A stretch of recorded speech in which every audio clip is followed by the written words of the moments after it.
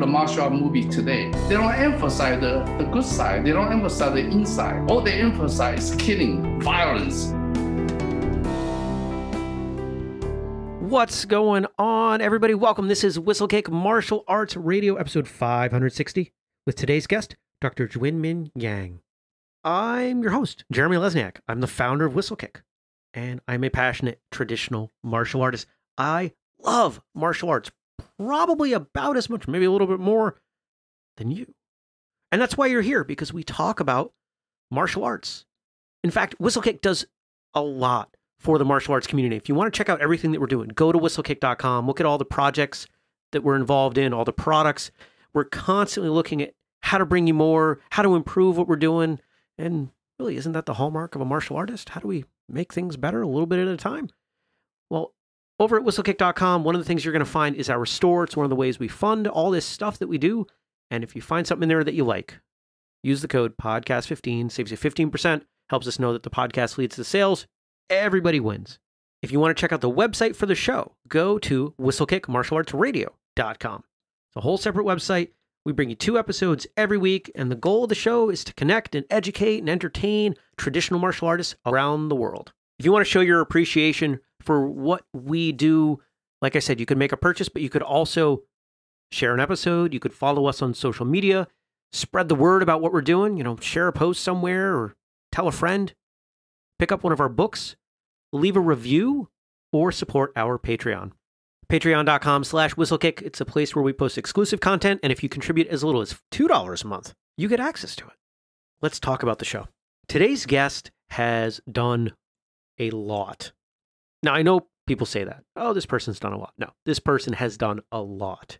Dr. Yang has written books and founded a publishing house and taught directly or indirectly I can't even fathom the number of people. He is well regarded, well respected, and even if you aren't familiar with his name, there's a very good chance that you are familiar with his work.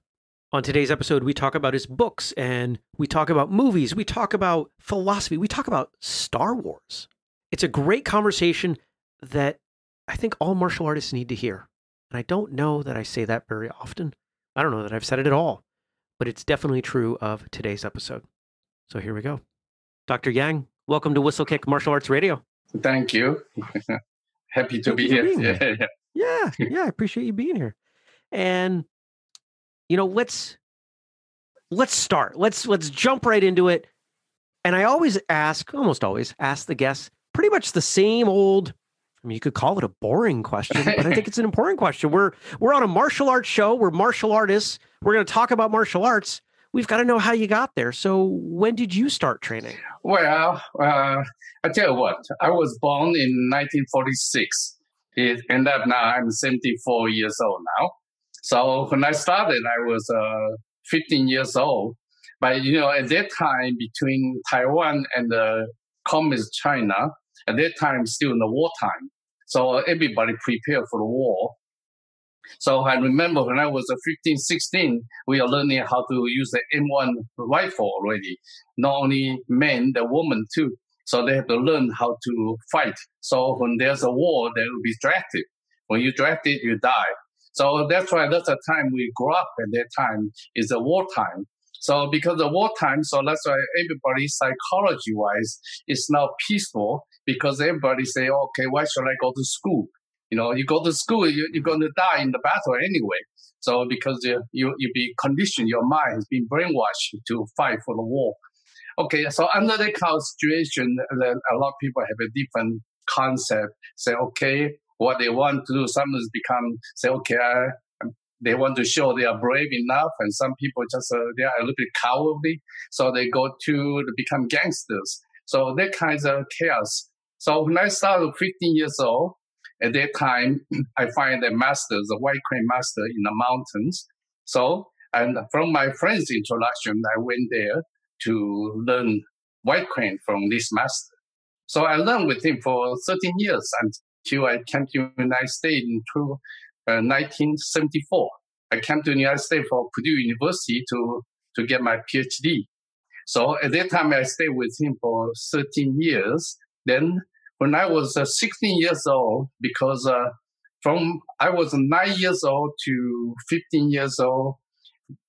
Actually, nine years old to 12 years old at that time, there's not too much food in Taiwan because everything is prepared for the war. So, especially in my family, we have nine children. I was the number two. So most of the time you're starving. So end up a lot of my brother and sister, and includes me, and they developed the ulcer. So that ulcer never disappear, never disappear from I was nine years old until 15. So one day my white crane master asked me because uh, when I was training, I was a cold sweat and my stomach pain. And then I sit in the corner and uh, he come take a look and they he, he check my pulse they say, well, you have some problem internally. I say, yes, because this pain since I was nine years old until now, it never go away. And the uh, doctor says also. So he say, I heard you practice Tai Chi Chuan will help you to relax internal organ for healing. Because at that time, see, that time the 1960s, that time is conservative. So once you learn from one master, you cannot learn from the other master. It's considered betrayal. So because he said that, let me approve. He suggests I can learn Tai Chi Chuan from the other master. So because the reason when I was 16 years old, I started searching for the Tai Chi master. Hopefully I can heal my ulcer. So I found there's a there's a, a teacher uh, he's teaching English and also teach the soccer game in the good high school because I was in the gangster high school. So when one morning I went there and to see him, I asked him if he can take me as students. At that time, there are five students he had already with the, the, the good students from that good school and only one from the gangster high school. You see, amazing part is that after I learned from him for six months, the first thing I learned is uh, deep breathing, how to move the lower back and the spine, and uh, learn to relax internal organs. See, after six months, amazing part is uh, the episode of, of the ulcer is start reduced. And after one year, and it's very seldom come back again. So that means I, I start practice Tai Chi Chuan. A lot of people ask me, say, why you are so young? You're 16 years old, you start learning Tai Chi Chuan. It's not because I like it, I hate it.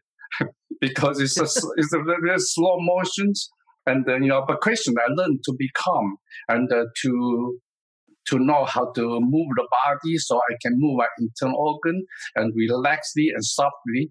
And uh, with the deep breathing, the amazing part, that's what help my internal organs start relax and repair itself. So I practiced with uh, Master Gao for Tai Chi for two and a half years. Then I went to Taipei already. I went to Taipei for my college, for my universities. So from there, I, in my classroom, in my same class, I found out there's a, another of my classmates is called Nielsen Joe. He, he learned long fist. Long fist, you know, in China, long fist is specialized for long range fighting. It's come from northern style, northern China. And I learned white crane is the southern style. Is a because you know in China, you see the Great Wall on the north the Great Wall is a dry land. In dry land, that's uh, people they ride horse and they use a leg for kicking for martial arts. But when you go to the Yangtze River south, it's uh, because the Himalaya, there's two biggest river from China. It's the Yellow River and uh, and also uh, Yellow River and Yangtze River. So those people from Himalaya, so that's the two biggest river coming down. So oh, that's why they develop a lot of small rivers and a lot of lake. So that's why the Southern Chinese martial art style, they have to have a good root and uh, most of short range fighting because uh, very often you fight on the boat. So because reason Southern style emphasize the routine is don't use the leg as much, but at the same time, hand is good and like to stick with you and the same time they emphasize short range fighting. So because the reason my classmate he learned long fist is long range. So first thing we met each other, he said he knows I learned white crane, I know he learned long fist. First thing he said, hey, that's fine, that's fine. Then we just go to classroom, push all the chair away, and then and then we fight. And after fight a few times, I realized, gosh, his leg is fast because I, from the long range, I got big problem. But when I get closer into short range, then he get problem. So after that, I say, well, can you teach me how to kick? He said, why you want me to teach you kick? Uh, I have to long fist? He said, can get my master here. That's why we get a Master Lee from Taipei to Tamkang College at that time. And we found a club. And that's why we start, I started learning long fist. So that's why in my lifetime, I have three masters. Uh, Wai Kuen is the longest one, and the Tai Chi is the shortest one, is two and a half years, and the long fist about eight years until when I was 27 years old, I came to the United States in 1974. Okay, that's how I got started. And I started at that time because to me, it's uh, psychologically, you're preparing for the war. So you have to think, you keep thinking about, would I be brave enough to accept the challenge when I go to the war? Would I be able to handle the situation without, uh, with confidence? See, that's all I'm looking for. But at the same time, you know, I now go back to ask my my father and uh, if I can learn martial arts because a lot of time a lot of kids learn martial arts to fight, become gangsters. It's a surprise me. My my father said, "Oh, no problem." I said, "What?" Because I was expect he's going to against it. Then later, my grandma told me because the Yang's family the Yang's family, we, we live next to the military airport. But when Japanese controlled Taiwan at the time, and uh, later, four years after the war, the Japanese attacked Pearl Harbor. Then American joined the war. When American joined the war, the Americans start attack Taiwan, especially the military base. That's the airport, military airport. And the Yang's village next to the airport. And that's end up a big problem because the Japanese, they hide a cannon in the village and to shoot American airplanes. So because the reason American had to bomb the village. So that's why up uh, the village people after the war, about 40% got killed because of the war.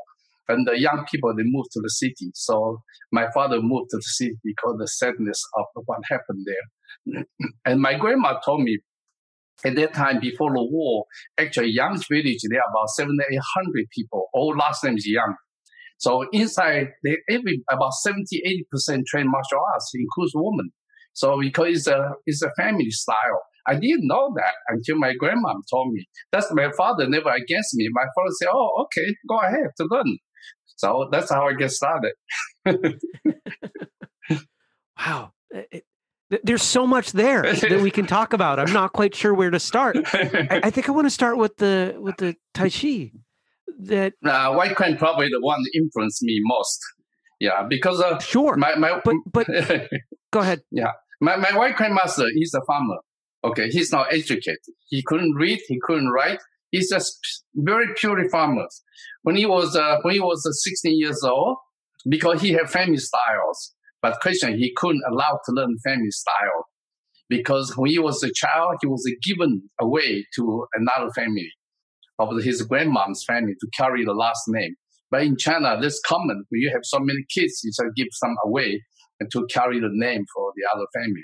So because reason he was not allowed to learn family style, and end up when he was 16 years old, he discovered Jin, Jin Shaofeng, there's a Master Jin. He's a teaching. He's from mainland China in the mountain. So he asked, he went there and asked to, to be accepted as a, the, the students. So he was accepted. So he was there when he was 16 years old. He stayed with Master Jin for 23 years until Master Jin passed away. Because at that time they have nine, nine students total. Because nine students total at that time in Chinese martial arts, you know, family, this is a lot of a lot of students. Usually they take only two or three. So he was number nine. He was the youngest one. So he stayed with him for 23 years until Master Jin passed away. Then four of them, they stay in the tomb and protect the tomb for three years because they are afraid the animal or some people come to dig the tomb or they destroy the tomb. After three years, they secure the tomb, then they separate. So, so 23 years he learned from Master Jin. So when he get out, he was in 40s. So, and that's why I started learning from him. When I started learning from him, I was the 19th. Actually, my group is the 19th. I was the number 19. I was the youngest one. So his amazing part is he changed my life because before I was 15, I was uh, I like to fight. I was uh, violent because uh, I was not happy about my life. All the starvations, all the get ready for the war, and so many kids in the family. and uh, it's it's not peaceful. My mind is not peaceful. But once I started learning from my white grandmaster, I found out he's different. He's a farmer. He's very peaceful. Everything with the nature. He grow chicken, grow pig, and uh, farming. And the amazing part is uh, the philosophy he understand about life is so deep. Okay, just give some of the stories I learned from this guy because I was with him 13 years. Actually, he's more closer to me than my father. Tell the truth, mm. because uh, I can talk to him, no problem. Uh, he can give me nice advice. My father, because under Japanese mentality, when I ask him question, he just slap your face. He said, just not ask question. Those kind of mentality. Yeah, that's a uh, Japanese time. The father is authorities. See, but my white master is not the same thing. See, so one, for example, there's a few stories here I want to share with you because those are stories. This story is the one continue to affect my life until today. And the amazing, they start from 16 years old, 15 years old, all these stories stuck into my mind, always keep remind me about what a person I am supposed to be. See, because my, my master say, white master say, he say, you look one thing, you're learning martial art is not learning martial arts I said, what? He said, no. Learning martial art is the way to learn the meaning of life, to understand the meaning of life. So you have to challenge yourself and you have to suffer. From the suffer, you have to fall. You know how to stand up stronger. See, that that's the mentality is different because it's not the same. So when I listen to that, I say, yes, I have to accept the challenge. Okay. So then uh, at that time, everything I learned is uh, from surface. It's not deep. But question, he one day he talked to all of us. He said, look, all you look at, you see is appearance. It's all the forms. And they don't know what is the meaning behind the forms and how it created. Because that's important. You don't know how they created, that you don't know the meaning of the movements. Then that means not only the feeling is shallow, you cannot even use it in the fight, in the in the defense. Okay, then he tells us the story. He said, there's a boy. He said, this boy come to see a master. He said, hey, master, I heard you can change a piece of rock into gold. Is that true? master said, yeah, it's true. You want piece of gold? I change one for you. But boy said, no, no, no, I don't want the gold. I want the trick. My master, if you know the trick, you can create. If you don't know the trick, all you do is just gold you just will get just go after you spend it, you got nothing. So because this reason, that's what like it's inspired me. Say, wow, that means I want to learn every moment. I want to see, trace back to what is the reason of that movement, and what the defense, offense purpose. And in this case, I will know from there. I will be able to create new things. See, so that's the one thing that those kind of talking for him. He was not educated. But he can understand this one through 23 years with his master by learning martial arts.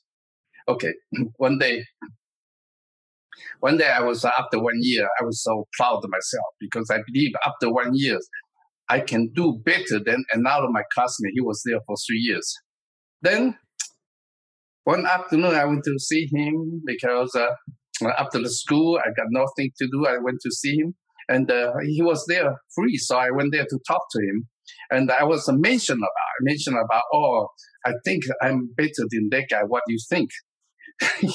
I was hoping he give me some of a, a uh, praise, say, say, oh, you did good job or something like that. No, he didn't. He looked at me. He said, hey, little young, because when I was 16 years old, I didn't grow up yet.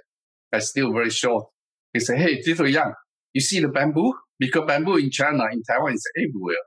So you see the bamboo? I say, yeah. He say, you see, the taller they grow, the lower they bounce.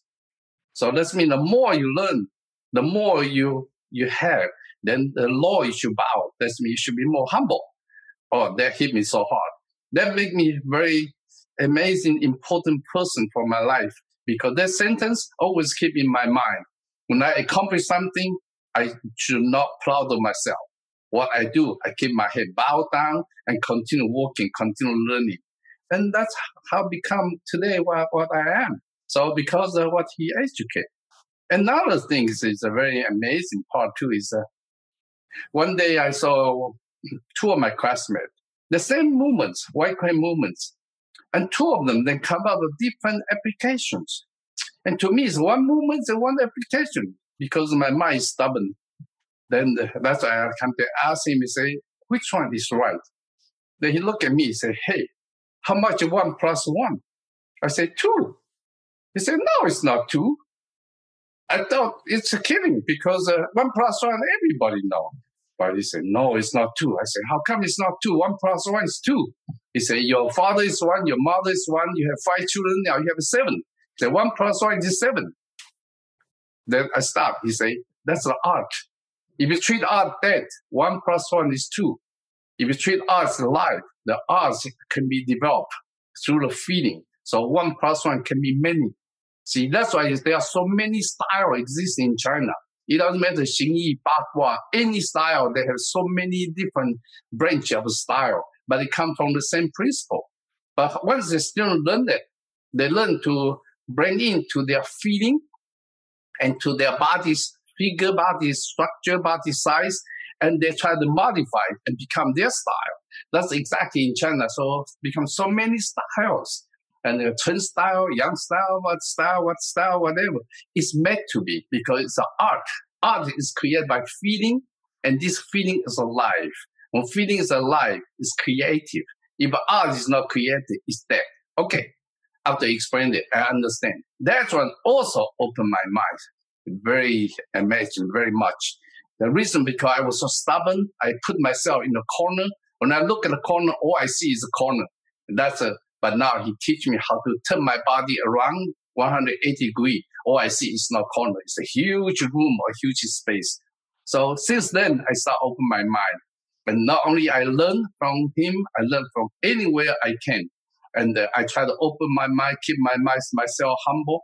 And then that's how I learn, continue learning, continue learning. As I end up, I have written more than 40 books and uh, probably so many videos because the more I write, the more I share, the more I learn.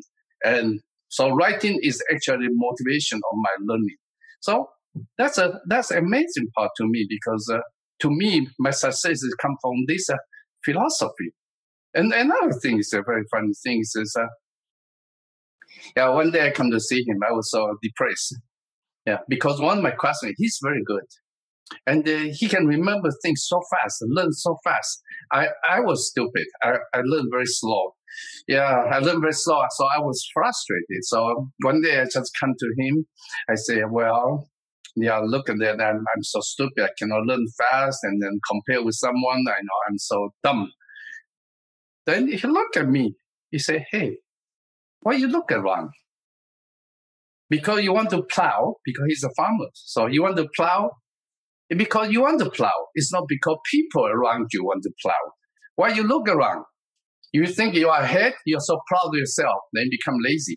When you are you are behind, you got depressed, you got so stressful. Then why you look around? You, because you want to learn art, you want to learn it, just keep your head down and keep plowing, keep plowing, keep plowing.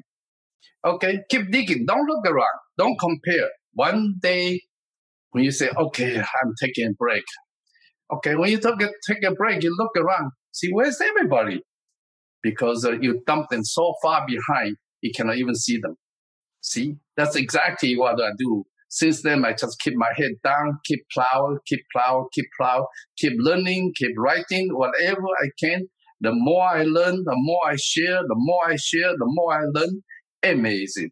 That's my life. So that's why I start understanding what you call uh, learning martial arts or even teaching martial arts is a way of the life, is the meaning of life. So amazing part.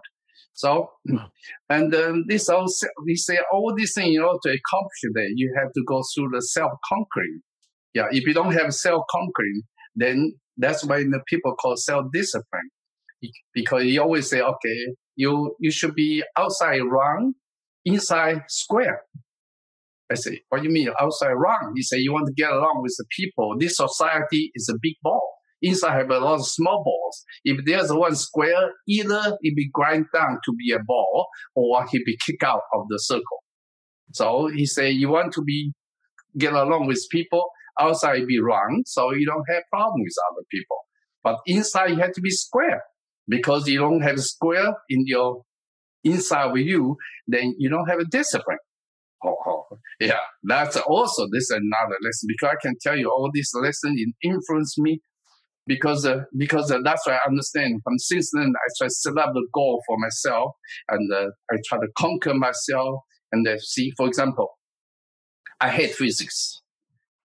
I hate physics, but enough, I got my PhD in science. And people say, well, how can you hate physics and you got to all the way to master degree and PhD? I say, that's because I hate it so much. Because I know to conquer myself, I have to stay inside. If I can't stay inside, how can I conquer myself? If I like it, then there's no conquering. All I do is I do what I like. Then there's no conquering. And then my spirit cannot be developed. See, that's I conquer myself. Okay, the more I don't want it, the more I have to do it. So that mm. that's how that that's how I am today. Yeah, I'm 74 now. I'm still a student. I'm continue learning. so. Mm. Did you say 40 books? You've written 40 books? More than 40s. More, more. Yeah, more than 40s. Why the first one? What? The first one, the first one, because the first four books actually published by Unique Publication. Because at that time I just come to the United States. Okay, let me see. After I got received my PhD in 1978, in 1978, when that time I already been in America for four years. At that time, Bruce Lee just passed away. And at that time, as though you're Chinese, they think you know martial arts. That's our mentality at that time. so, so in 1978, the martial art is so popular. And not only that, the school challenge school, people challenge people, not like today. Today is very peaceful. Okay, so that time I said, well, and when I get a 19, 1978, when I received my PhD, and I start work for engineer for six years, and I, I it. I didn't like it at all. I feel like uh, six years I got no life because all I became is a money slave. Every day you drive in the traffic and go there, work so hard, go back, you're so tired, and then you're so sleep. Pretty soon, six years pass already. What I think about what's my life? Now to think about, I got no life. I'm only money slave. So after that, I decided to quit. See, because it's a good timing, because that time in 19, 1983, the martial art is still very good. So when I was, uh, when I started recognized it in 1978, actually I started writing book because I tried to introduce myself to the public. So that time, the unique publishing publications, they, they took my first book and their book, they said, no, it's too big because I, I shot in long fist. He said too big, but it's a very big book because inside have all the long fist contents inside. So that's because the reason that's why we separated become uh, the Shaolin Chin Na. China actually amazing to me is that American don't know Chinese Chin Na, but they know Japanese Jujitsu. Mm. Yeah, but the Jujitsu actually from Chinese to Chin Na yeah, because uh, Jap- Japanese culture, you know, 50, 60% of Japanese culture came from China. That's why you look at Japanese, uh, the letters, uh, the symbols, inside 50% Chinese symbols. So I can read Japanese, Japanese can read Chinese, but we cannot talk to each other. Like we can communicate each other by writing because Japanese, they learn everything from China, like judo. Judo come from Chinese wrestling and karate come from Chinese white crane, and uh, and the jujitsu come from the come from China. And nobody knows Chin Na, but people know jujitsu, uh, aikido. Oh, so I say, okay, I, I want to introduce myself to the public. I have to let them know what is Chin Na about. So that's why I say in my first book, Chin Na. So today you can see, because to France, you see they have a martial encyclopedia the authority of Chin Na, you see my name's there. it's, a, it's a martial encyclopedia. That's because that's my first book of Chin Na. After that, people start realize, oh, Chinese uh, Chin Na is the origin of Jujitsu Aikido, all those locking technique. But eventually, then in China, there's no Chin Na style. There's no Chin Na style. Chin Na is existing every style. Because in Chinese, every style emphasize four things. Okay. T is kicking, Da is striking by hands, and Shuai is wrestling. Wrestling, Na is the chin So amazing part, kicking and striking when they pass to Japan become karate. And then when the wrestling go to Japan, become judo, and the Chin Na go to Japan, become jiu-jitsu, aikido. So when these things, actually four things has to be together. Yeah, because you can see wrestling is special against kicking and punching. The wrestling, in order to take people down, you have to really touch people's body. But before you touch me, I will kick you. I will punch you. Before you even reach me, your hand reach me. So because reason, in order to take people down, you have to wait until people attack you. So when that time will give you a chance, when they fail the attack, that's why you can get in right away, can take them down. Okay, and then but for the wrestling, they have to touch the body. But Chin Na is not easy to against kicking and punching. Chin Na is not easy. But Chin Na is easy against people they touch you. So once they touch you, Chin Na is locking right away. So that's why Chin Na is against wrestling and kicking and punching against uh, against Chin Na. So in China, every style, in order to to make the style complete, you have to have a Ti Da, Shuai Na, four things: kicking, punching, and the wrestling and kicking, uh, and the Chin Na. So those four things. But today, you know, there's a, a lot of people don't understand that. That's why I try to educate people because the people they got from Japanese mentality of karate. I remember I was laughing when I in 1974 when I came to the United States. The first thing there's a song there called Kung Fu Fighting. Kung Fu Fighting. I was I was amazed because Kung Fu is not fighting. And they said, no, Kung Fu is fighting because from Bruce Lee motion picture. I said, no, Kung Fu is not fighting. You can learn piano. You can learn painting. You can you can go to your college, whatever. As long as you take spend time and energy accomplish anything. In Chinese, called Kung Fu. Kung Fu, that's mean time and energy. There's nothing to do with uh, martial art. Martial art is Kung Fu. Kung Fu is not necessary martial arts. Okay, that's the first thing I thought, mm, that's American's mentality. Okay, the second thing I was so surprised. We look at Chinese uh, Kung Fu. It's classified in the yellow book. It's under karate. I said, what? It's a karate is from China. And uh, how come Chinese Kung Fu is, is under karate? That, that's why I start, study. Say, what? What's the reason? I realized after the Second World War, American Navy Force and the Air Force, they stay in Japan to help Japan to protect against Russia. So the American soldiers, they learn karate and then bring it back to America in 1950s and the early 60s. And not only they invite Japanese master come to America. So that's why karate is Oriental martial arts first introduced in this country. So that's why everything, everything Oriental martial art is karate. Is karate. Even today, a lot of people still karate. Chinese martial art, oh karate. So I don't understand that. So, but, but anyway, that, that's a pass. okay, so so so now I hope I don't know after so many book and videotape I I publish it because I found it YMA, YMAA publication. I found it. I found it and uh, about 16 years ago I I sold it to one of my employee. Actually, he was my student and he did a good job and continued to carry the mission. So the YMAA publishing now has been recognized in the whole world. So, so my book is most published by them. And I write novels. I write six novels, and then I try to because I write this novel last few years and try to to share people about the feeling of my life because uh, I cannot write autobiographies. But people say, why not? You say, no, in my lifetime, I have a lot of positive things and negative things. And should I mention about both? If I only say the good part, not the bad part, then I'm lying. It's almost like you see the commercial, always tell you the good of the, the products. They don't tell you the bad part. They don't tell you the side effect of the bad parts. So I, I cannot do that. If I want to write autobiography, I have to expose what I had, what who, who I had, who betrayed me, whatever. I cannot write that. So I said, okay, then how can I share my story? Then I write novels. So hey, I encourage people go to Amazon.com, find my novels, read my novel, you know my life.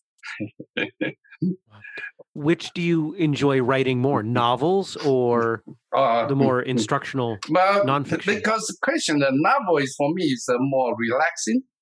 Yeah, because I have create story and put my life story mixed together with the with the novels, and novel help me to prevent my Alzheimer. oh, because I have to keep my mind busy. I don't keep my brain busy. I become all time Alzheimer's. So, so you you you know the they say if you don't use it, you lose it. So I have to keep my mind right. acting. So well, well, let let's talk about the the using it, the martial arts. We we heard about mm. your instructors in China, but you've lived in in the U.S. for a long time. Yeah, yeah. What what happened with your training when you got here? Because that's exactly what happened. 19 because I learned from three masters. In 1974, I came here. I look around, I look around. At that time, you had to pay one dollar. One dollar is big money to me. Okay, you have to pay one dollar to even observe, to watch the class in the martial arts school. Okay, it's not easy. So I pay one dollar for them to watch the class. And after I watch it so many places, about six places, I say, that's not martial art. This is, it's, it's not essence. So that's, that's why I realized that all the martial quality is very low at that time because everybody they learn couple movements, they open the school because everybody wants to learn martial art because Bruce Lee. Okay, so that's end up the problem. So that's why when I was in Purdue, I started thinking about how can I share my what I learned with the American. So that's why I, I share. But even in Taiwan now, I went back to Taiwan. Taiwan also, you know, because of modern style, modern lifestyle, then the martial arts is not really serious now. They treat it like a hobby. It's not like when we trained in 1960s. We trained it is very, very serious. It's very traditional. But nowadays, martial arts is not really as serious as used to be. And people train for fun. It's not like in that situation. Yeah, it's not only that, because since martial art become a business, for example, I learned from three masters. I didn't pay one penny because uh, they just want to teach you, and that's it. And uh, you stay with them. And that time, all the students, we accept it, we commit ourselves, we train hard. But today is no, today is all money business. Between teacher and students, it's money. There's no moral, there's no there's no compassion, there's no relations. It's a master, master. So I pay you money, you are my employee, that's all. So those kind of attitude. So that's why there's no respect, there's no martial morality today. When I see that, I feel very sad because uh, because Chinese martial art, usually Chinese martial art, every martial art, you can see most of good Chinese martial art, high level martial art from monastery. Okay, I don't care.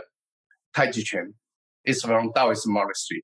Okay, Shaolin Chuan come from Buddhist monastery from Shaolin. Okay, and uh, there are a lot of martial all from monastery. But monastery, they are monk. The monk they are supposed to teach people how to kill people, but they're the useful defense of that because people they don't understand. The trained martial arts inside have a two aspect of training. One is the inside, and the other is the yang side. Yang side is physical manifestation. Inside is your mind, because your mind initiate anything, then your action is outside. So question is two parts. So the deeper the mind is, the stronger, the more powerful external can be manifested. Okay, but today outside is a manifest, it's a forms, but inside is called meditation, is the mind, focus, alertness, awareness, and the spiritual cultivation, self-conquering, what we call self-discipline. All this internal. Today, I feel very sad because you can see all the martial art movies today. They don't emphasize the, the, the good side. They don't emphasize the inside. All they emphasize is killing, violence. I feel sad because uh, I remember before I was uh, impressed for the movie. Uh, it's a movie series in the in TV called Kung Fu. Yeah. Kung Fu by David Carradine. Okay, mm-hmm. yeah, that one every every show inside still talk about morality, talk about the life, talk about everything. So they show I love it because I didn't like the fighting. The fighting was bad. But question the philosophy, I like it because this really matches Chinese philosophy. But that philosophy, 1980, 1990, now until now, it's all gone. You can see, they don't see martial movies. Martial movie become fantasies, become like a Superman, like a Walt Disneyland. And uh, you can see that even Crouching Tiger and Hidden Dragon, this all, all those uh, the, the, the Jackie Chan's, uh, not Jackie Chan, Jet Li's movies all get a wire hanging there, fly around. I say, I feel sad. So I, I remember when I was in Egypt about 20 years ago. when I was in Egypt for the seminars, I was invited to have a lecture in the in the college in the universities. It's amazing. 120 students come to listen, and uh, you know what? The first thing they ask, they ask, "Can I teach them how to fly like a crouching tiger and hidden dragon?" oh, and I look at that. I said, "That's college students." Then I ask them one question. Okay, you tell me. Okay, how many times Chinese win Olympics? If Chinese can do that, Chinese wipe out all Olympic already. they don't wake up. That's a great point. yeah. And then another student asked me, say, Oh, I heard Chinese master will be able to project their mind and send the chi to kill people miles away. I look at him and say, Well, look at that.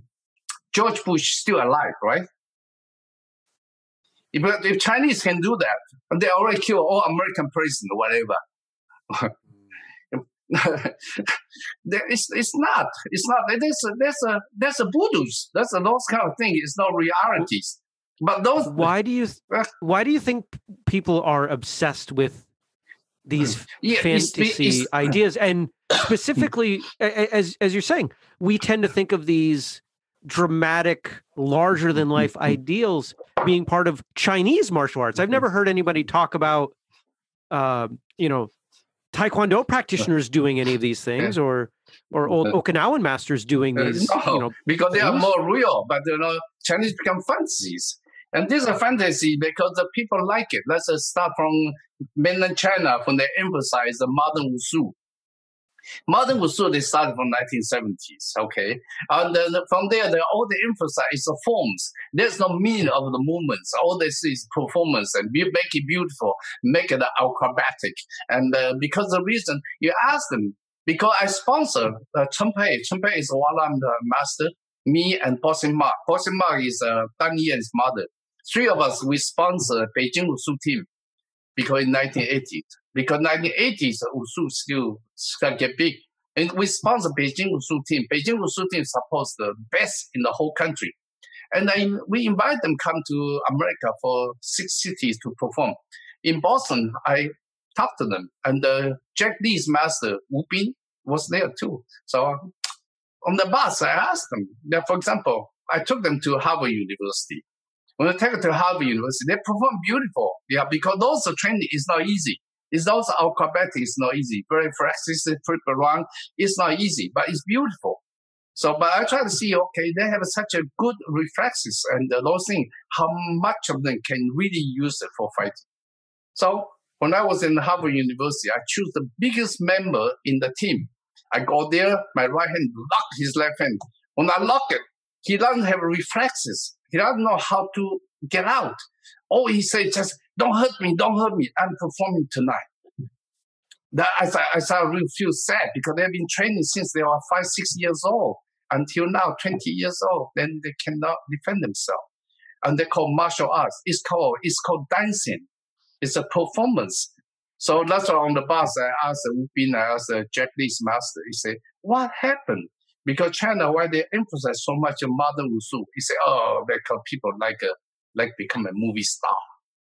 Yeah, you want the movie star, all they see is looking. So they end up today's martial arts movies. It's all emphasize looking, fancy, fancy things and those kind of superpower things.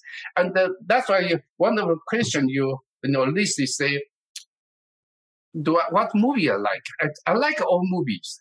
Like an old movie, like uh, Jet Li's uh, first movie, The Shaolin Temple, The Shaolin Kiss. Lots of times they don't have those kind of fantasy things. That's because it's more real. But now you feel like a, you, you don't have that feeling. You feel like everything like a Superman. Yeah, it's almost like you know, you know, you know, uh, Star Wars, right? Star Wars. It starts from episode four, five, six. Those three, I like it. Then when you come to one, two, three, all the computer graphic stuff and everything, it just feel like it's not real.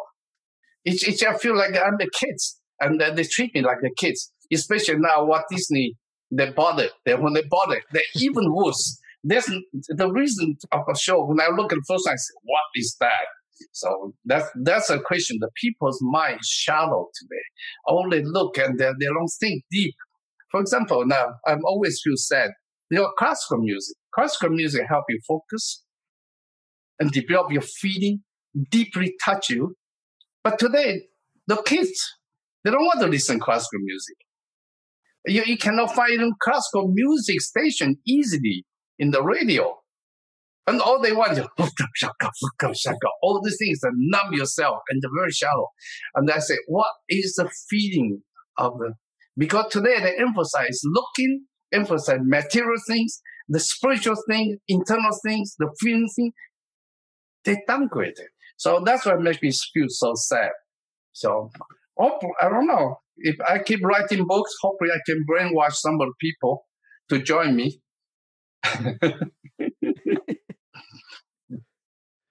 well, I'm I'm wondering, you know, as as we talk about martial arts and how it's changed in some of the places where you think it's I guess failing. Yeah, how can mm. those of us who love martial arts and train how can we help? How can we make it better? Yeah, because the first one, you know, the movie, because the movie affects everybody. For example, 1960s, all the movies, all the movie stars have a cigarette in the movie 1960s. And after that, all the school kids, everybody try to learn because it's cool. It's a fashion. So martial art influence society so much, people don't understand it. So the martial arts, the movies that come out has to be really right, righteous, and help people to direct people in the right way. It's the wrong way. And I emphasize now is the violence and all these uh, things, and uh, that's what make me feel sad. So in the first things they want to see uh, the public. For example, now we talk about Chinese martial art because Chinese martial art in Taiwan, in China, is in the college course. In the college course, because inside talk about spiritual side, talk about internal feeling, and talk about the performance. But it's not in this country. Everything is emphasize violence. When they emphasize violence, now people start hating because it cannot be classified like a golf, like a basketball. Like it cannot classify that because it's a violence.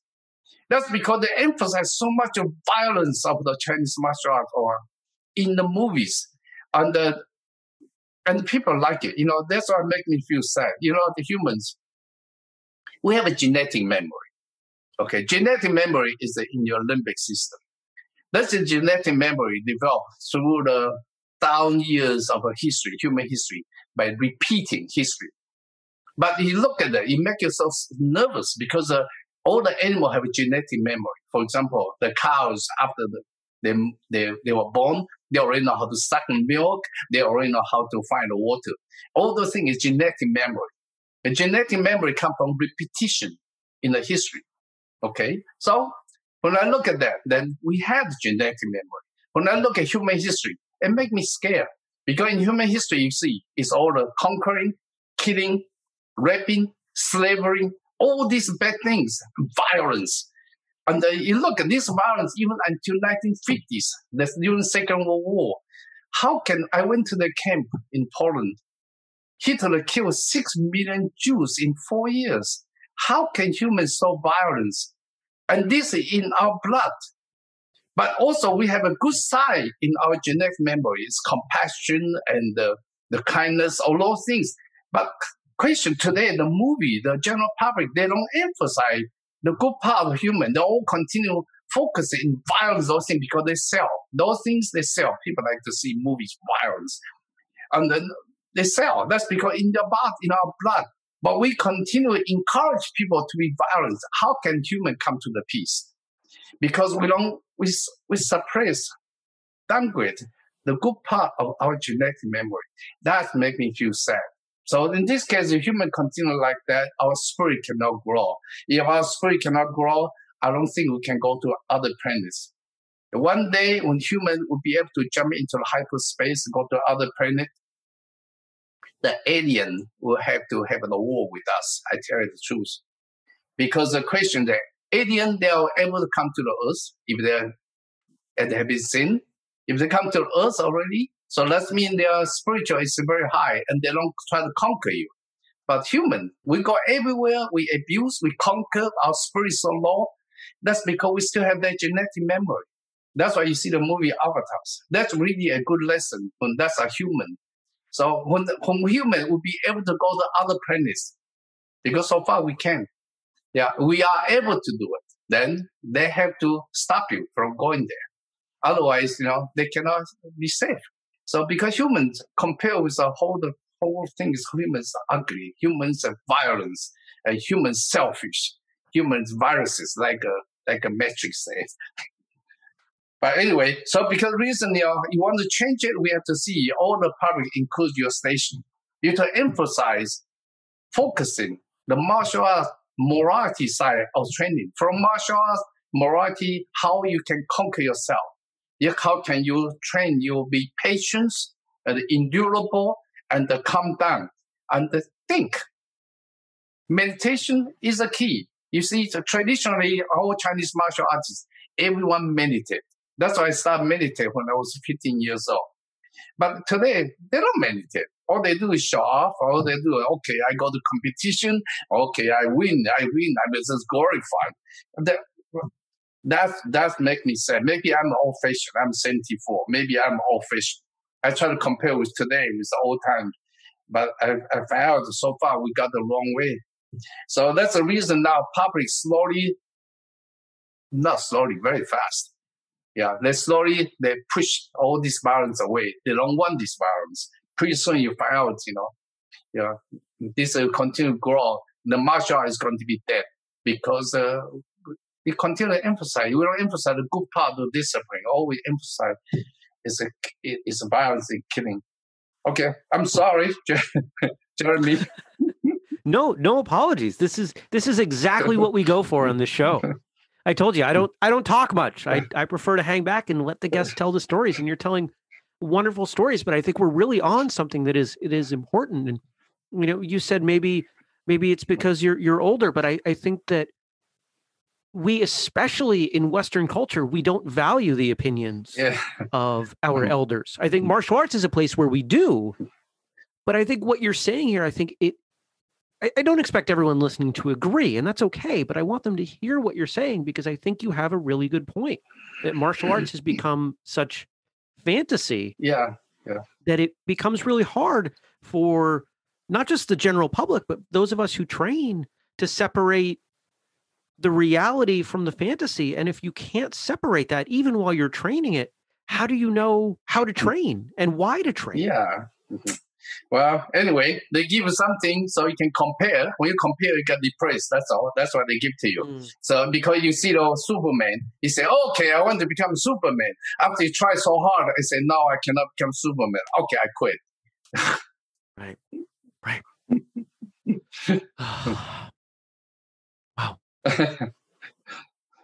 okay, what else? I'm I'm digesting. I'm trying to pick one of the 400 questions I think I could ask you right now. and and I think I want to go back. You talked about when you first came here that you visited schools. Yes. And you observed schools, and I think you said you watched yeah. six of them, and, and none of them had what you no. felt was was worth your time. no. Did you did you eventually find something, or did you open your no, own school? No, no, because uh, because uh, I, I find this the quality is not good, you know, Then the they know a little bit, they start teaching, and every school have 200 students. Oh gosh, I say, wow, they make good money. And then I said, no, my, my goal is to get my PhD. So I went to Purdue because at that time, one of my classmates teaching Los Angeles and, uh, and, and the San Francisco, in the, in the San Francisco area. He, he told me, say, why you go to Purdue? For your quality, for what you train. I guarantee because he learned from me when I was in Taiwan, so he knows me. So he said, if I guarantee you got 200 students in six months. I said, no, no, no. My goal is coming to the United States to get my PhD. That's my goal. I set up my goal, I go. So that's why I went to Purdue. When I went to Purdue, then, then I start because, uh, you know, at that time, Purdue, I got a scholarship. The scholarship is a tutor, is a instructor scholarship I have to teach and each month I got three hundred twenty dollars. And uh, in, that's three hundred ten dollars. My wife come next year, three hundred and twenty dollars. We spend seventeen dollars a week for the food because the rent to the school is one hundred twenty dollars, and I had to send mm. fifty dollars home to help my mom because we have uh, so many kids. I'm the second one. My oldest brother is a military doctor, doesn't have money. So the second one is me, and the next one is all in the school. So I have to send fifty dollars home to help my family.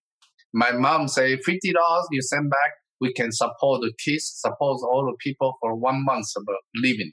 That's how strong American money was at that time. Mm. Okay, so now I spend one dollar to watch everyone. That to me, that's ouch, because one dollar is a lot of money to me. So, but when I was in Purdue, I started second year under Jeff Bolt. Jeff Bolt is uh, my first student in America. Yeah, because uh, he he liked it, so he he helped me to form the Purdue Kung Fu Club. So that's how we started. At that time, each month I can get extra money. I can get almost two hundred dollars because each students only pay about fifteen or twenty dollars because the, the Jeff he's more handling that. So so so to me, it's uh, even two hundred dollars. That's a big money for me. So that's why I started teaching after I teach in Purdue for one year, then Purdue University, the theater department, they invite me to teach Tai Chi Chuan for the students. It was a credit. I was surprised. I was impressed. I said, wow, why you want to learn Tai Chi Chuan in the theater department for the students? He said, no, because they know when you practice Tai Chi Chuan, they, their performance will be more nature and more calm. And uh, that's what they wanted for to help their stage performance. Okay, that's why I, I start teaching that and also earn some money. So from there, that's how I start teaching. When I start teaching, I start organize what kind of book I want to write. So eventually, when I come to the United States, I realized one thing, important things. I cannot find master here in America. If I want to find master, maybe in China, in Taiwan, I can find it, but not in America, definitely. So since then, I say, okay, what can I do? The first one, I had to learn how to teach myself. And then in order to teach myself, I start collecting information. For example, I start teaching Purdue for Tai Chi Chuan. I didn't know too much about Tai Chi Chuan. I, I learned two and a half years with Master Gao in Taiwan. That's all I had. So when I Purdue, and I start collecting, trying to find any documents. In 1970, 1979, when I went back to Taiwan, I go to library, I go to bookstore because there's no internet at that time. So just find any information I can, I bring back to the United States. I start studying them and self-learning. From there, I try to interpret because all this ancient writing, interpret it. So through the collection and the compiling, and after that, try to comprehending, is understanding. After that, and I start to write it so the way people can understand, go through this process after I finish one book, I know the topic is very good. So because the reason when I write the first book, I start out I, I, I learn. See, all these motivations come from 1979. Okay, because of 1978 and uh, 1974, I come to United States. And uh, 1978, my mother come because my first child was born. And uh, my mother told me, say, you know, your white master passed away two years ago. I was completely shocked because he's like my father. I look at my mom and say, why you didn't tell me? My mom looked at me and say, what would you do if I told you? I couldn't answer because uh, she knows if I know my master passed away, I will quit school, I go home. My mother looked at me and said, that's why I cannot tell you. To me, your school is more important than your master's funeral.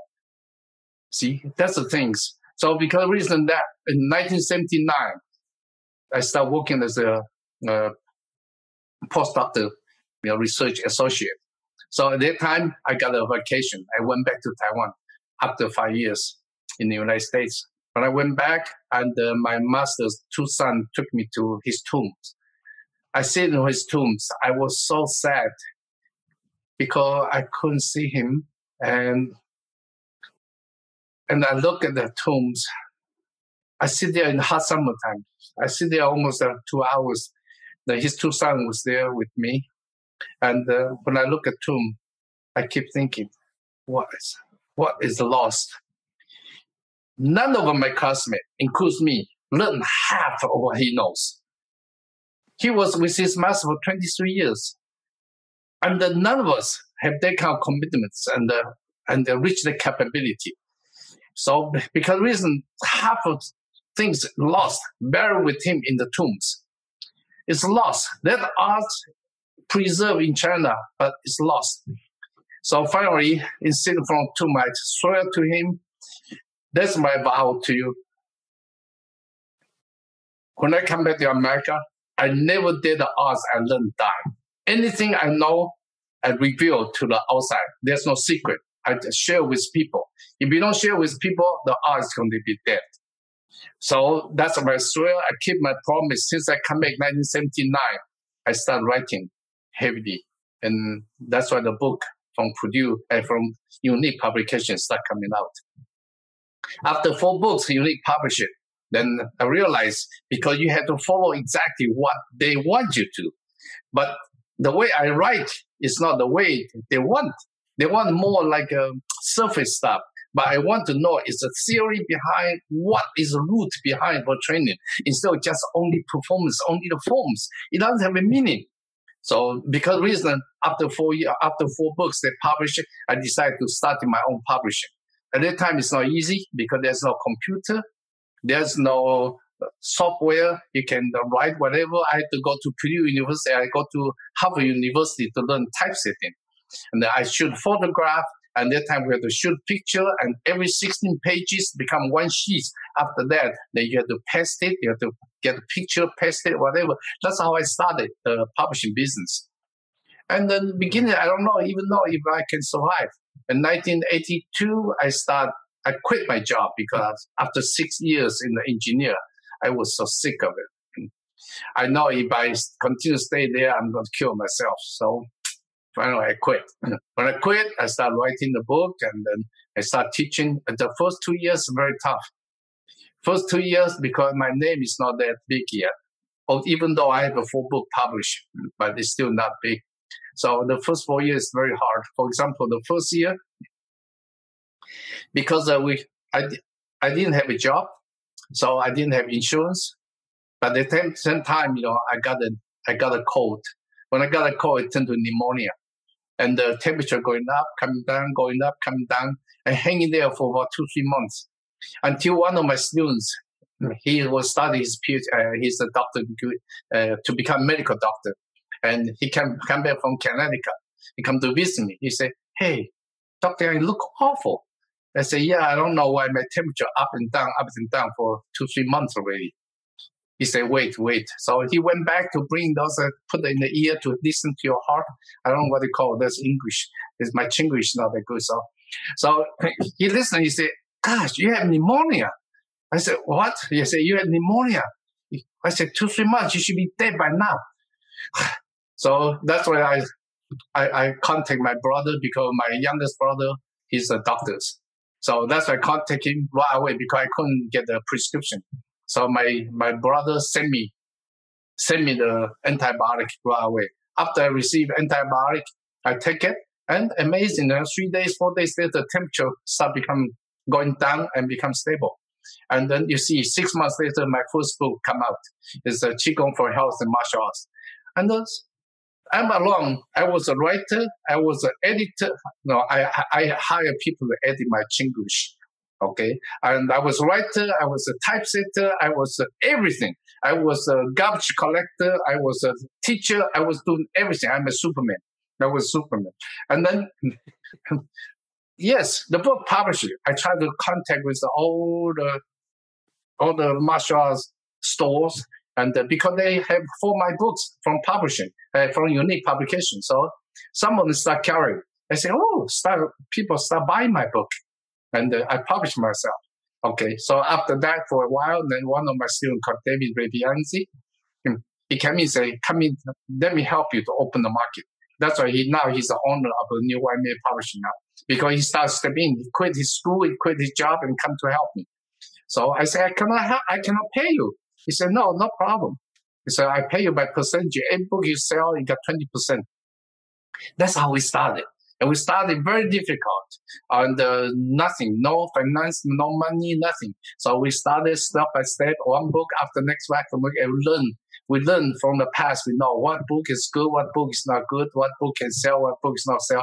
So beginning is writing to survive. So that's why at the beginning of my writing, you can see a lot of books for surviving and uh, about one third is for myself learning. Yeah, but once the company becomes stable after 10 years, then I start write a book. That one I can learn. For example, the deeper aspect of Tai Chi Chuan, the Qigong aspect of Tai Chi Chuan, because Qigong is part of Chinese martial art training. So that's why I want to know deeper and deeper. Let's end up now my Qigong. So many books I published in Qigong because since then I practice and I study the ancient documents. I understand them and I try to write them and try to share with public. Through this process, I, I learned to teach myself. So since 1974, I came to the United States. I learned from myself. Of course, not from myself, from ancient documents, because the ancient documents give me the guideline, because that's one have been passed down for thousand years. So those, uh, those documents to me is so important. So that's why when you read my, when you see my book, you read my book inside, a lot of ancient quote, ancient documents, quotations inside. That's why. Let's let's shift gears a little bit as we start to wind down here. Okay. You you're still going. I, I know I know many people, and we've talked to a number of people on this show your age. And the, the mm-hmm. people we talk to on this show that are your mm. age are like you. They're they're they're still going. They're still working very hard and achieving and mm-hmm. sharing their mm-hmm. information. Yeah, you know why? But if we look at the rest of the world, someone who's 74, they're often they they're just done. Uh, no. They sit. no. Yeah, because, uh, because what motivates you? Okay, okay. Why? Yeah, let's let's go back to when I was 50 years old.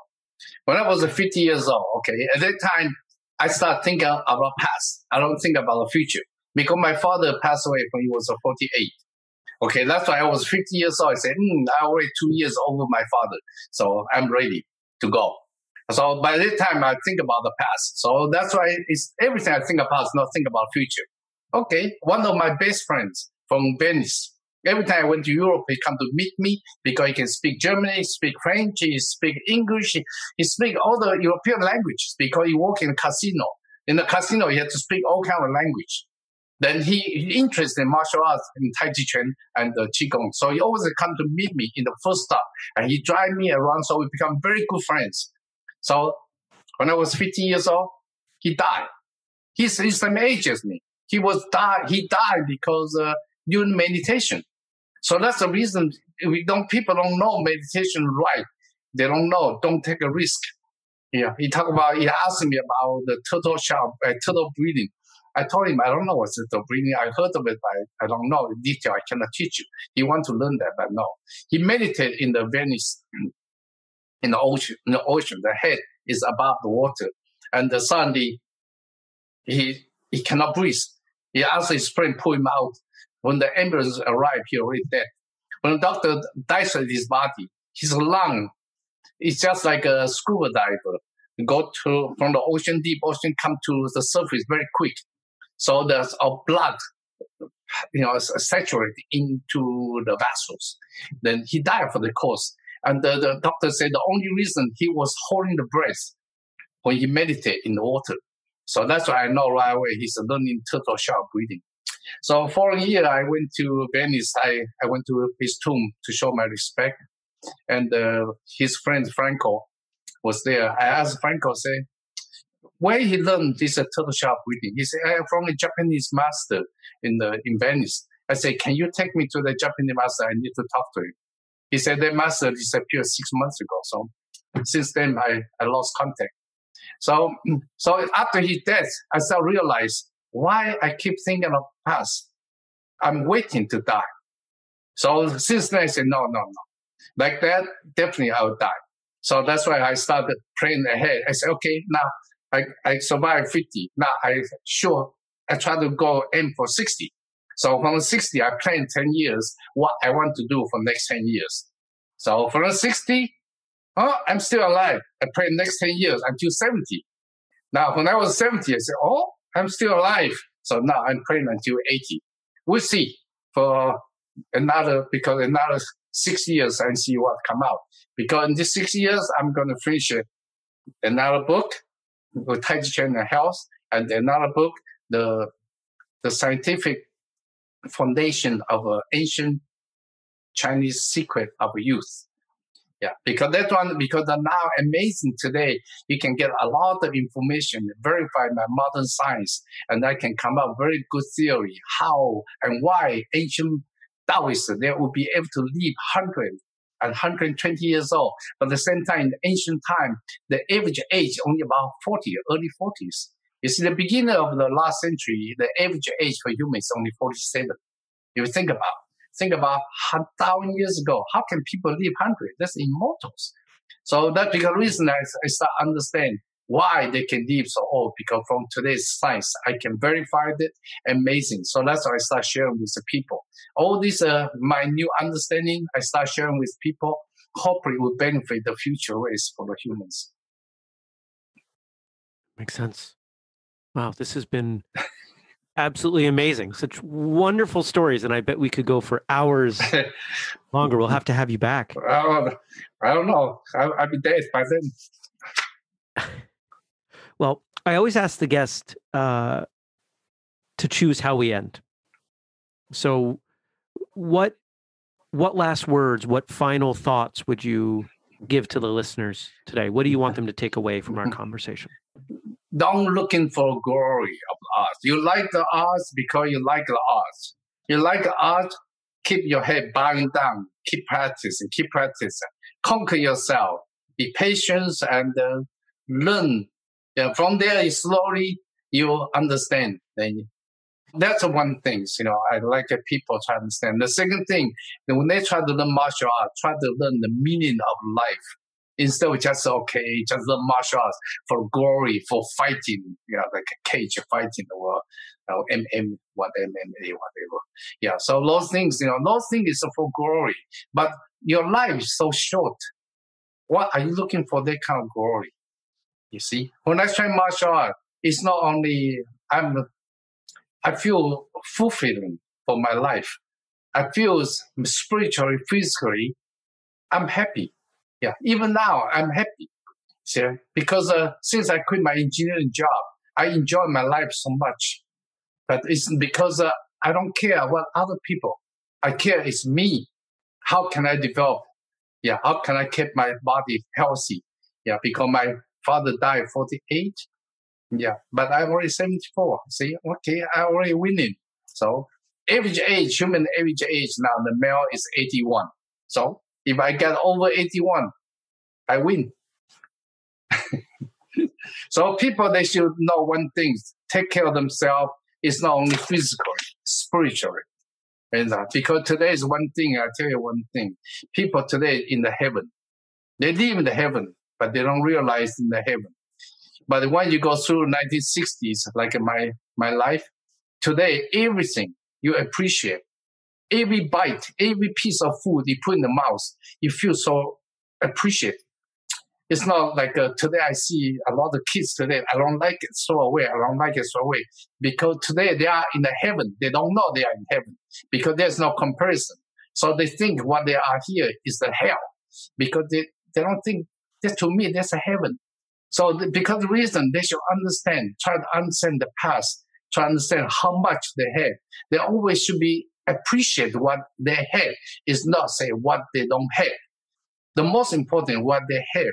That's what make you happy instead of what you don't have. Don't compare. Just think about your life. Think about how you make your spiritual go higher. Yeah. So because uh, emphasize more spiritual life and physical life evenly. Both sides have to balance. Instead of just physical side, you see today a lot of kids they have everything. They have a car, they have whatever, they have whatever, all material things. You ask them, are you happy? No, they are not happy. They commit suicide. So that's why I don't understand. To my generation, oh, those are heaven. Okay, so I will see. I don't know if your audience understand that today, but I think the older generation, 70 years old, they should know what I say. What a powerful conversation. What a generous storyteller. Man, it's a great stories. I had a really good time talking with Dr. Yang, and I hope you'll check out his work. Check out all the things. I mean, it's, he is not a hard person to find on the internet. Let's put it that way. And if you're maybe new to his books, pick some up. Check out his novels. Check out all this great stuff that this man has contributed to us, to the martial artists of the world. And to you, sir, thank you for your time. I really appreciate you coming on and sharing these great stories. I was, I think, transfixed is probably the best word. Took me a minute to think of that one. If you want to see more, we've got links and photos and all that at whistlekickmartialartsradio.com. Every episode gets its own page. Sometimes people post some comments. We definitely link to other relevant episodes. We put up transcripts once we finish them. There's a whole bunch going on there. And if you want to support that work, remember you can visit the store at whistlekick.com and use the code podcast15 to save 15%. You might also consider buying one of our Amazon books or telling others about the show or supporting us at patreon.com slash whistlekick.